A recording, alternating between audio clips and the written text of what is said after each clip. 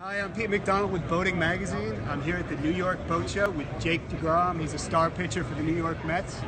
Jake, I know you're excited for the season, but are you excited also for what you see here at the show? Yeah, definitely. Um, you know, I was excited whenever Mercury asked me to come out and be a part of this and look at the, all the new stuff that's coming out. It's definitely um, an exciting time, and um, you know, thrilled to be here. And, and, Jake, you spend a lot of time on the water when you're not in season. What do you like to do on the water? Uh, I enjoy fishing. Um, you know, grew up fishing with my dad, um, and you know, it's just something I still love to this day, and hopefully, I can pass it on to my son.